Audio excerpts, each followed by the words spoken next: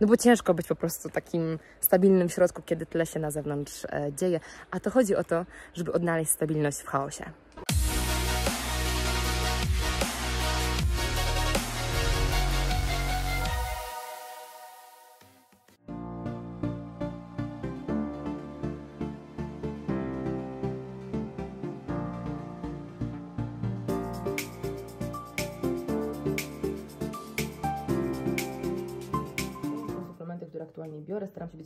W suplementacji, e, dlatego zmienia się to bardzo na przestrzeni miesięcy i biorę to, co faktycznie aktualnie potrzebuję.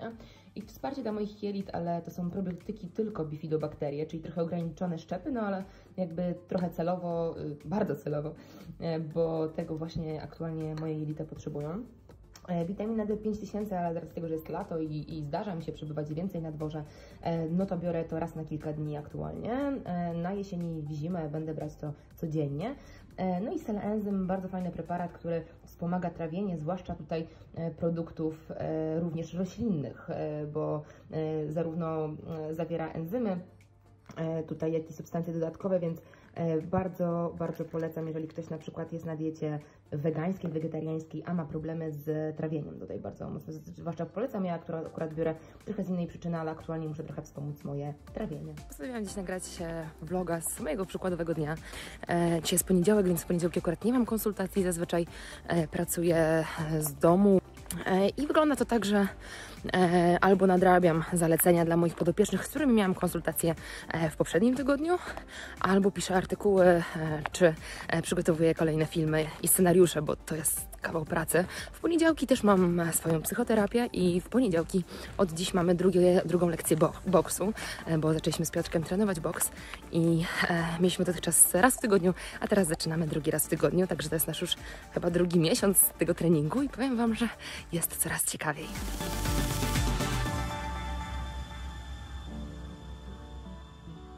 Dobra, ale o co chodzi z tą psychoterapią? Po co ty chodzisz na psychoterapię? Co ci jest?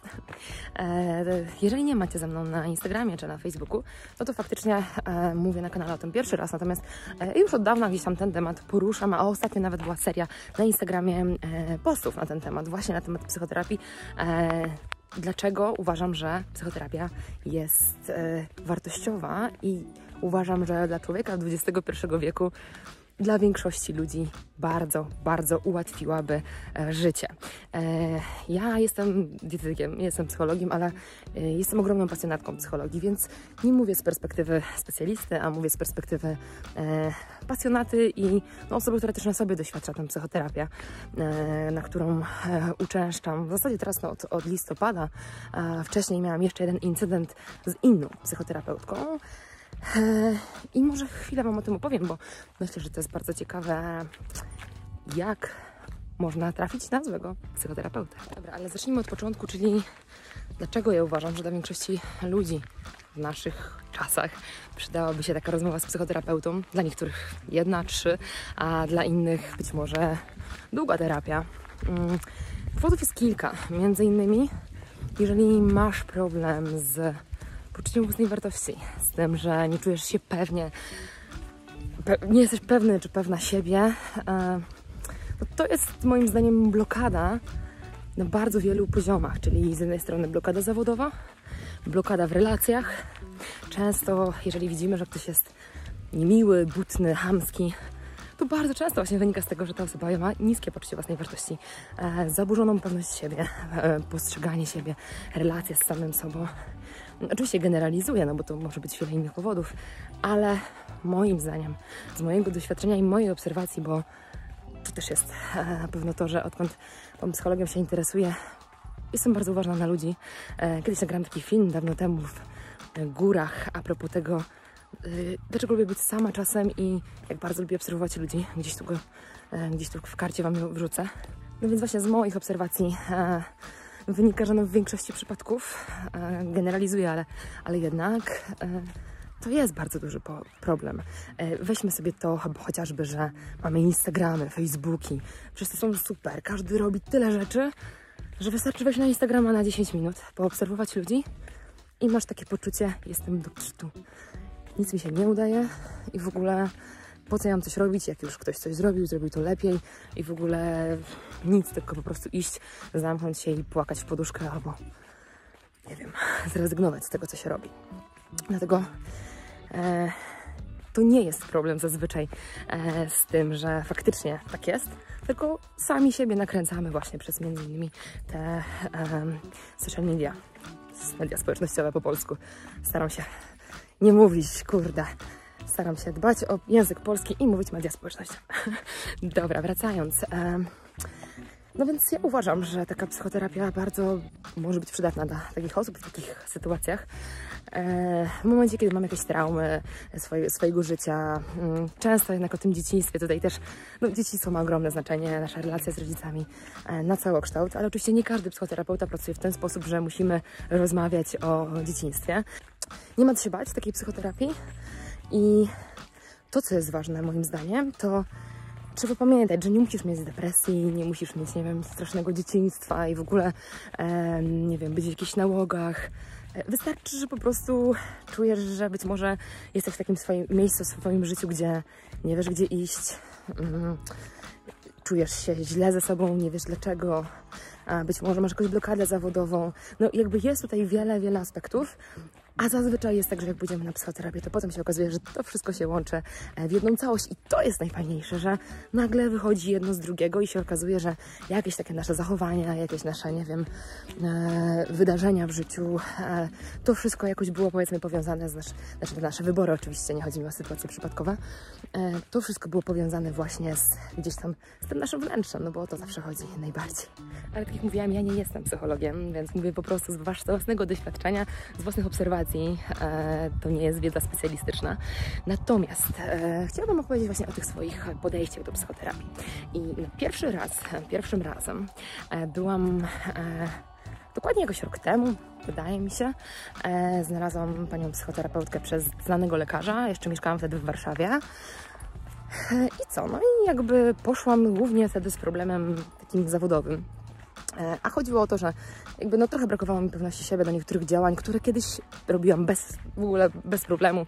E, szło mi wszystko naprawdę dobrze, byłam pewna siebie, e, wymyśliłam, robiłam, działałam, a potem nagle wpadłam w taką stagnację. No i teraz postanowiłam, że pójdę do psychoterapeuty, bo czytając wiele książek na temat psychologii od lat, e, no wiedziałam, że tutaj coś pewnie jest do, do ogarnięcia.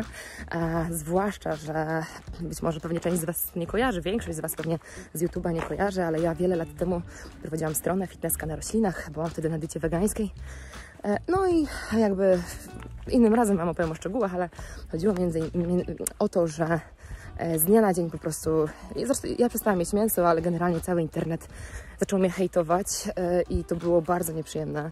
Ludzie mi życzyli generalnie śmierci i tak dalej. No jakby nieważne. Chodzi o to, że E, najgorsze w tym wszystkim było to, że ja miałam zbudowany cały brand, jakby e, tutaj jakieś warsztaty sobie prowadziłam, tu coś tam. No generalnie po prostu, e, wiecie, no jakby byłam ja i ten mój brand, e, marka osobista, więc no to jest ważne. I, no i z dnia na dzień to straciłam wręcz e, pełno ludzi no, zachowywały się agresywnie wobec mnie, w komentarzach oczywiście, nie na żywo. Więc to było dla mnie bardzo ciężkie wydarzenie przez dłuższy, długi czas, przez podejrzewam, że z rok, dwa. Bardzo ciężko mi było w ogóle pisać coś do internetu. Pisałam tak, wiecie, tak, tak jakby byle jak. Tak ja zawsze wcześniej pisałam tak yy, z pazurem, a później taka stałam się, tak jak mówię, nijaka, bo po prostu bałam się jakkolwiek ostrzyć, cokolwiek napisać, bo bałam się zaraz, e, co się wydarzy. A wcześniej jakoś bardzo mnie to nie przejmowało.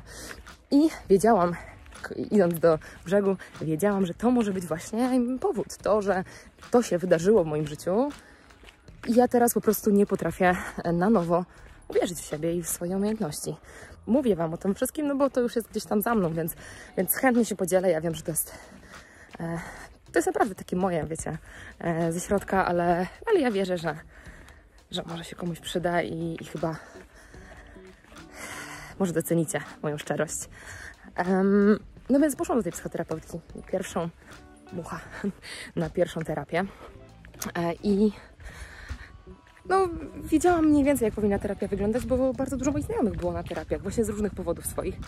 E, I na początku było ok, ale im dalej w las, e, powiedzmy po takich kilku spotkaniach, coraz więcej sygnałów miałam takich od tej pani, że czułam, że chyba tak nie powinna wyglądać terapia.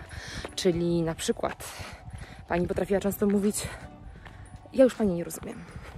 E, ja już za panią nie nadążam w ogóle, ale ja już nie wiem o co pani chodzi. Ja poszłam do pani psycholog, bo ja nie wiedziałam o co mi chodzi. A i kiedy specjalista do mnie tak mówi, to to jest coś nie tak. W sensie, wiecie, inaczej jakby ta osoba powiedziała, że przykro mi nie jestem w stanie pani pomóc, mogę panią odesłać do innego specjalisty, bo ja sobie z tym nie poradzę. A na pierwszym spotkaniu to pani mi powiedziała, że poznała moją historię i powiedziała, tak, jak najbardziej możemy pracować razem. A potem w międzyczasie mówiła mi co chwilę, że ona mnie nie rozumie, że w sumie o co mi chodzi. To była pani z doświadczeniem, bo ta pani miała tam pewnie około 50, e, między 40 a 50 podejrzewam lat. Więc czułam się tak trochę niefajnie. A druga rzecz, e, pani po prostu nie pamiętała z terapii na terapię, o czym rozmawiałyśmy. I pamiętam do dziś taką jedną sytuację, że e, jakby oczywiście wiecie, no to nie jest łatwe mówi, mówić o jakichś takich swoich e, wewnętrznych tematach, no ale się rozkręca człowiek w pewnym momencie tej terapii. No i mówi, e, mówię, mówię coś tam i pani na koniec mówi, że to była super terapia, że teraz ona już wie, w którym kierunku iść, że super, że to powiedziałam, w ogóle teraz to już ona ma cały plan. No i wracam na kolejną terapię. I mówię, że no fajnie, na początku mówię, że myślałam sobie to, co ostatnio, że już w ogóle nie mogę się doczekać, będziemy o tym rozmawiać i tak dalej. A i widzę na jej twarzy, no przecież to kurde widać było, takie, że o co jej kurde chodzi, nie? Że ona zupełnie nie pamięta, e, mimo że notowała coś tam w swoim zeszyciku. Ona nie pamiętała zupełnie, o co e, mi chodzi, co my wtedy mówiłyśmy, do czego my wtedy doszłyśmy, e, więc kurczę, no to było strasznie słabe. E, no i jakby tu było chyba 7 spotkań, potem ta pani miała urlop, ja też gdzieś tam coś to były wakacje i już do niej więcej nie wróciłam. I tak jak rozmawiałam potem ze znajomymi, którzy no, od dawna byli w terapiach, bądź kiedyś przeszli długo takie, terapie, takie terapie to wiedziałam, że to tak powinno wyglądać. Um, więc bardzo się cieszę, że wtedy zrezygnowałam. No i potem się zajęłam swoim życiem prywatnym, osobistym. Prywatnym, osobistym, tak, jakby tym samym. Swoim życiem po prostu osobistym, zawodowym, jakby to e, ta terapia mi niewiele przyniosła, że tak powiem, ale no w międzyczasie różne inne rzeczy się wydarzały i ją po prostu odpuściłam. Potem stwierdziłam, że no nie, no do tej pani na pewno nie wrócę. Mm, być może ze mną akurat nie było flow, być może z innymi naprawdę super jej idzie, bo z tego co kojarzę, no to miała bardzo dużo kwalifikacji. To nie jest tak, że to była jakaś osoba, wiecie, no name. No ale coś nie, nie zagrało, coś nie pykło. Eee, no i potem z racji po kilku miesiącach e, wydarzyły się w moim życiu prywatnym takie trochę nieprzyjemne sytuacje. E, no i stwierdziłam, że spróbuję ponownie. Mm, no i e, poszłam do znajomego terapeuty, e, który jakby mnie wysłuchał no i powiedział, że okej, okay, on się może podjąć terapii ze mną, ale on by polecał mi kobietę jednak, bo no, ta kobieca wrażliwość, że w moim przypadku tutaj jest bardzo wskazana do tych rozmów. I wtedy trochę się miałam obawy, ale mówię, no dobrze, ufam temu, y, temu terapeucie, więc mówię, dobrze, to pójdę. Bo to akurat terapeuta, z którym się znałam z, że tak powiem, życia prywatnego trochę. Więc poszłam do tej pani. No i to było to. I, i to było to, dlatego że mm, po pierwsze pani e, słucha z uwagą. Mimo, że już odbyłyśmy kilkanaście spotkań pewnie, no od listopada z małymi przerwami, pewnie już może nawet ponad kilkanaście e, słucha z uwagą i pamięta wręcz moje słowa, jak nazwałam coś na pierwszej terapii, gdzie ja już nawet nie pamiętam, że to mówiłam. E, ta pani nawet nie notuje, ale ona widocznie ma takie techniki zapamiętywania, że pamięta wszystko, naprawdę wszystko. E, dwa, to co jest ważne, no to parafrazuję, czyli ja mówię, mówię moim wiecie chaosem, bo jak to się mówi, to coś, tu coś ci się przypomni, tam coś ci się przypomni, a ona potem robi pauzę, w moim wypowiadaniu się i parafrazuję to swoimi słowami, układając to w takie piękne zdania i wszystko takie logiczne się wydaje i takie proste, e, w sensie, żeby po, połączyć te kropki. I ja mówię, no tak, właśnie o to mi chodziło, tylko nie potrafiłam tego powiedzieć normalnymi słowami, więc wow, to jest naprawdę mega. E, no i to, co jeszcze y, zdecydowanie mi się podoba, to zdecydowanie, że ona dokładnie wie, o co mi chodzi. W sensie jakby nikt nie wie, ale chodzi o to, że ona wie, w którą stronę iść. E, jakby... Może nie chodzi o to, że mnie, czuję, że mnie rozumie, bo to nie chodzi o to. Chodzi o to, że w tej, po tej rozmowie zawsze e, łączymy kropki różnych sytuacji z mojego życia, różne podejścia i to się łączy w jedną całość i to ma sens. I u tamtej terapeutki, jak mówiłam o kilku różnych rzeczach, to ona mówiła, że ona nie wie, co mi chodzi, że w sumie nad czym ja chcę pracować i tak dalej. Mimo, że oczywiście wielokrotnie siedzimy, w, znaczy w sensie ja siedzę w swojej głowie w takim chaosie i mówię, o czym ja będę dzisiaj na tej terapii rozmawiać. A potem się okazuje, że szybko, super, e, wszystko się łączy świetnie i naprawdę wow. Ja po prostu bardzo polecam szukać i pamiętać o tym, że musi coś zaklikać, musi być ten flow między tobą a terapeutą. I no tak ze wszystkim, że dla jednych dany terapeuta będzie ok, dla drugiego wcale nie. I to, co jest ważniejsze, to żeby się nie poddawać, bo wiecie, gdybym ja nie wiedziała, jak wygląda taka terapia i po prostu bym sobie um, poszła na tą pierwszą i byłoby jakby było, o, słoneczko nam świeci, e, no to bym pewnie nigdy nie poszła, bym stwierdziła, że terapia to jest gówno i w ogóle nie idę. Przepraszam za słowa, ale myślę, że tak bym pomyślała.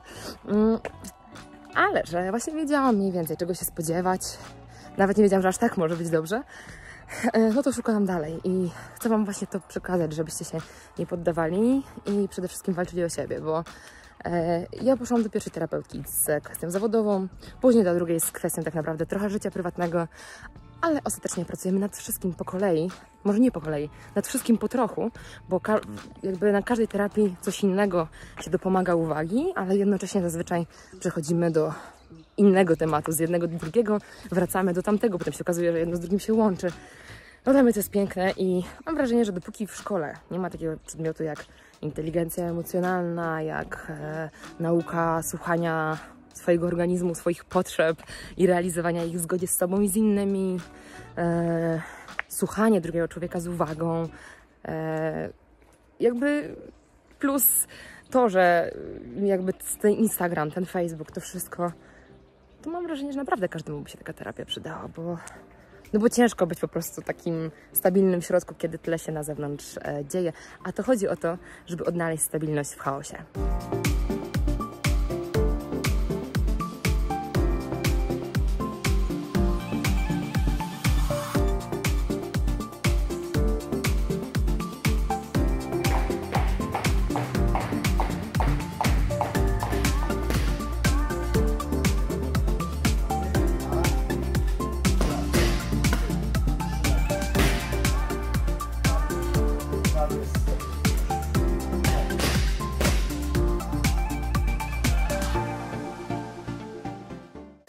Ponownie nadaję z lasu, ale to dlatego, że mieszkam przy lesie.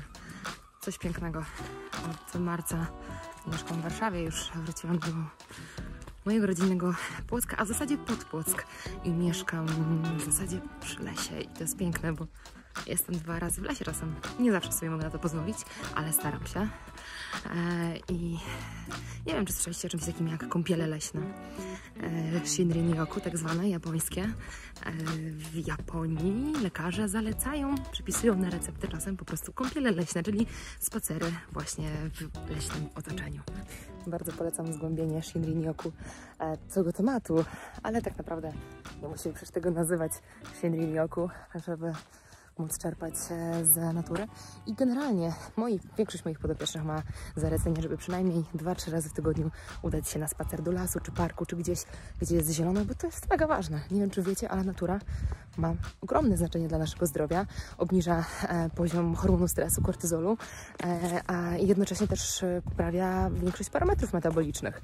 Mm, było takie jedno bardzo ciekawe badanie, w którym uczestnicy spacerowali, oczywiście, dwie grupy uczestników, więc jakby ruch już wyłączamy automatycznie, bo i w jednej, i w drugiej grupie taką samą aktywność uczestnicy wykonali, ale w jednej spacerowali w jakichś terenach zielonych, nie pamiętam, czy to był lask, park, coś takiego, a drudzy gdzieś przy ulicy. I różnica w wynikach tego, co się zmieniało u nich w organizmie, jak się poprawiały parametry metaboliczne, no była różnica, więc coś w tym jest. Ale wracając e, po dzisiejszej terapii, która nie była dla mnie łatwa, bo no jednak gdzieś tam zawsze organizm cały pracuje, głowa pracuje i człowiek po godzinnej takiej rozmowie jest taki trochę wypruty, ale to potem pracuje w sobie i potem nagle znikąd, teoretycznie, przychodzą ci jakieś myśli nagle e, do głowy, które są właśnie wynikiem tego, że coś tam się poruszało na tej terapii. No później boks dla rozładowania emocji. Także dzisiejszy mój na przykład obiad był na mieście, mam takie swoje sprawdzone miejsce, gdzie czasem wpadam na przykład na szarpaną wołowinę z warzywami, e, więc e, dobrze przyrządzone, a ja to po prostu czasem mam taki dzień, że no nie zawsze mam czas nawet przygotować, wchodzić z pudełkami e, i po prostu to jest też ok. O mojej diecie może Wam opowiem innym razem, co jem, jak jem, ale nie ma tutaj żadnej magii, liczenia. Jest bardzo mocno jedzenie intuicyjne, wypracowane przez lata różnych zawirowań, ale myślę, że to było potrzebne, bo teraz jest naprawdę fajnie i dobrze. Mm, oczywiście około treningowo Magnum, bo bez loda trening jest nieudany. Nie, naprawdę jestem bardzo zadowolona z mojej relacji z jedzeniem aktualnie, biorąc pod uwagę, że jestem osobą, która jeszcze 8 lat temu e, wpadła prawie w anoreksję. Więc wolność e, od zaburzeń odżywiania jest czymś pięknym i obiecuję, że nagram Wam na ten temat odcinek już niedługo. Piesek szczęśliwy, jak może pobiegać po lesie. No co? Co?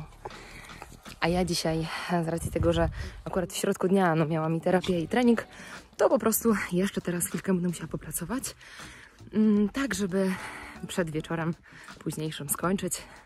E, jeżeli już dochodzi wieczór, to zarówno pracuję, jak i staram się oglądać e, programy, czy, czy oglądam serial, czy, czy korzystam jeszcze ze smartfona, to zawsze w okularach czerwonych, blokujących światło niebieskie, ale pokażę Wam je chwilkę później.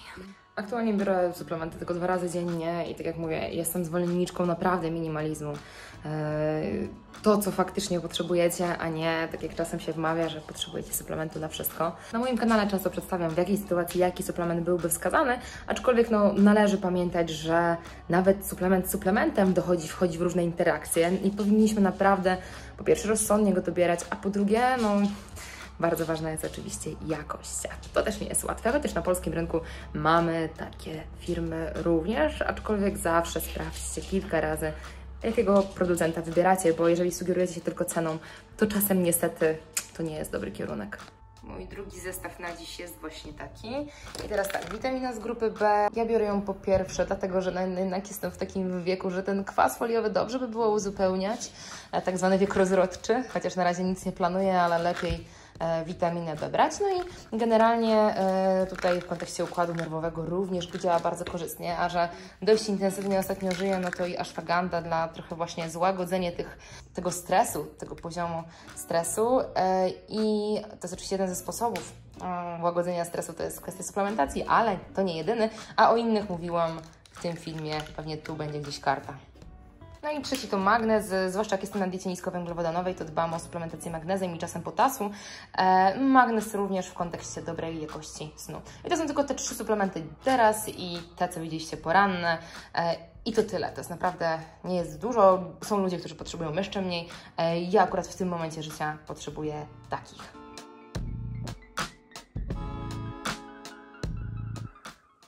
Będę czytać. A Oczywiście blokuje się to niebieskie okularami czerwonymi.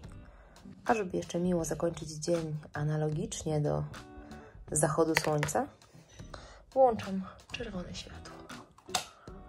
Ha, I tak jest w pokoju. Tak czerwono. Ale to już nie do czytania. Do czytania mam jaśniejsze światło i zakładam tylko okulary. Dobranoc.